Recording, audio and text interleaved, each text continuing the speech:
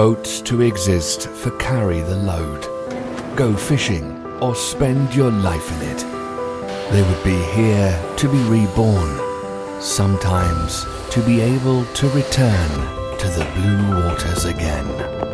In the shipyard, they are created or come back to life again, as well with very sensitive workmanship and calculations.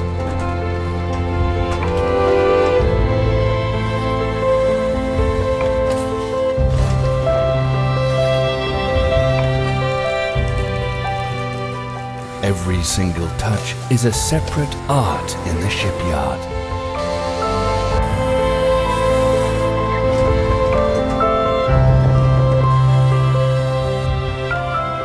And they left with eternal blue, exact place where they belong to.